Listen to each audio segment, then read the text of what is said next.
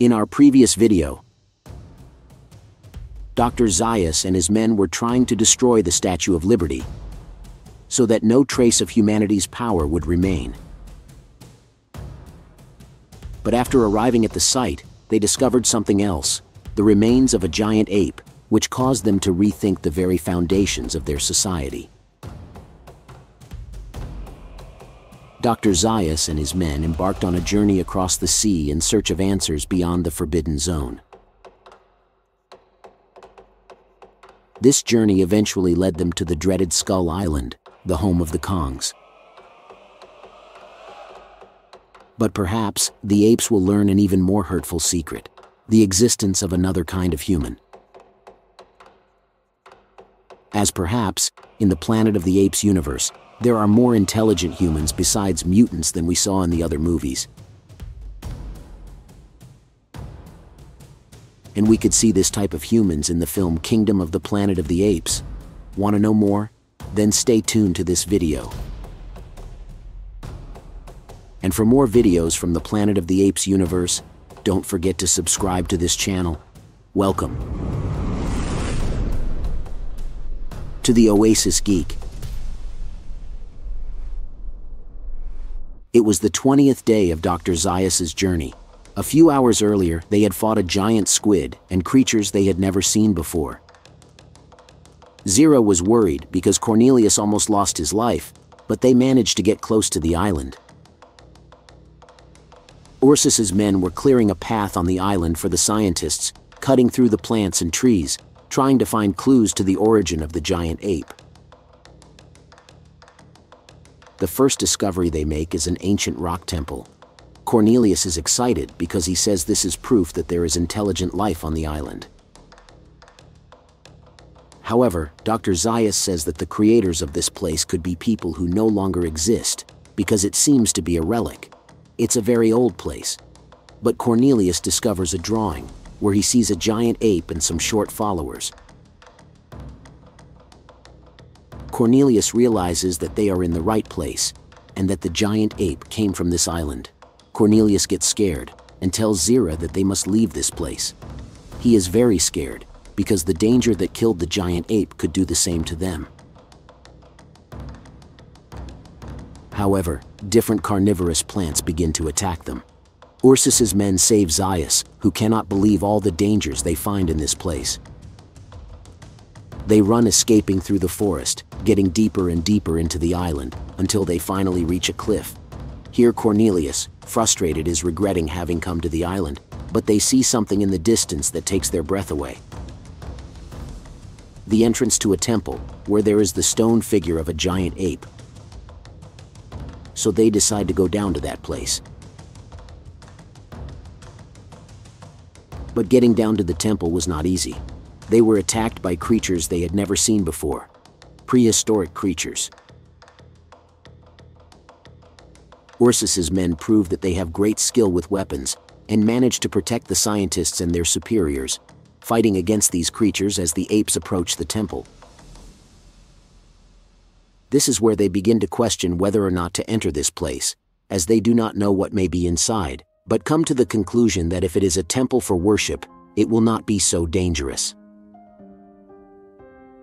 as they question the implications that their beliefs against humans and apes were wrong. They begin to be attacked by something else.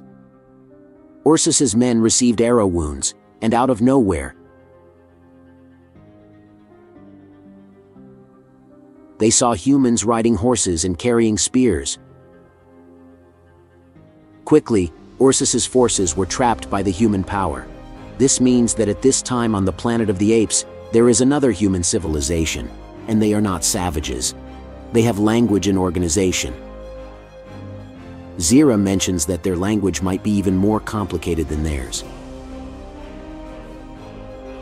The humans take Zira and Cornelius and take them to the storyteller, a human expert in other languages, and who might be able to make sense of why these apes were speaking.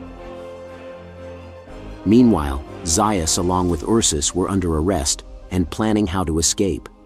Zira and Cornelius were taken to the city of the natives, where the natives bowed to them in reverence. These natives spoke English the way Taylor did, something that amazed Zira and Cornelius. This was evidence that the humans who had been in contact with this island might be the same ones who had sent Taylor. Zira is taken to a place where there are relics of the people who have traveled to the island. The American flag, chairs, items from different eras, and even radios can be found here, proving that other people from different cultures have visited the island, long before the fall of mankind to the apes. In other words, the virus that affected mankind never reached Skull Island. While they are showing Zira around the city, an alarm begins to sound, and they are told that the time has come. It is time for a great feast. The branches of the forest begin to break, and something giant is approaching. Cornelius, Zira, and Dr. Zaius, frightened, watch as a giant ape arrives. A King Kong has come to eat, and Dr. Zaius reaches out to touch it. The idea that there have been other civilizations of humans which escaped the extinction of mankind is something that may be addressed in the next film, Kingdom of the Planet of the Apes. In the new installment, there is a new character, a woman named Mae, whose origin is unknown, and it is possible that if there are any people left alive in this universe, they could be hiding on a separate island. Perhaps Mae comes from an island similar to Skull Island, a place that was not affected by the simian flu. The interesting thing about this comic is that it also shows that there can be a coexistence between apes and humans. Because unlike the Planet of the Apes movies, in the Kong movies, this ape is always fighting for humanity. And perhaps this is what the lawgiver really wanted to convey to the apes. It is believed that in Kingdom of the Planet of the Apes, we could see the beginning of the lawgiver and how he created the ape religion, where it is said that God created both humans and apes to live together in peace. Although these comics are usually published to create their own stories, which do not have to contribute much to the main movies, in the case of Planet of the Apes comics, too many secrets of this universe are kept.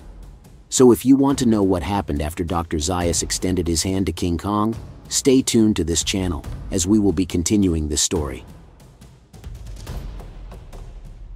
And for more videos of the Planet of the Apes universe, don't forget to subscribe to this channel.